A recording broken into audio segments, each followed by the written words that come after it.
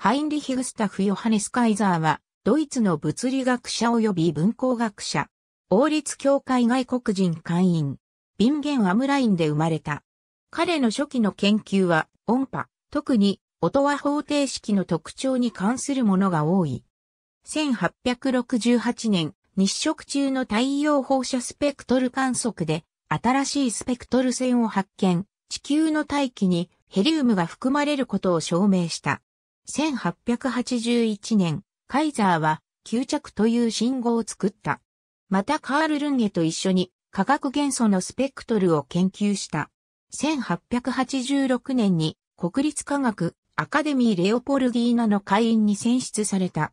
1894年から1920年までボン大学の教授であり、その間の1905年に電子理論についての論文を出版した。1911年11月9日、王立協会外国人会員に選出された。1940年10月14日、ボンで亡くなった。CGS 単位系の波数の単位であるカイザーは、彼の姓にちなんだものである。また、小惑星1509番は2000年3月に、彼を記念して、ハインリヒ・カイザーと名付けられた。ありがとうございます。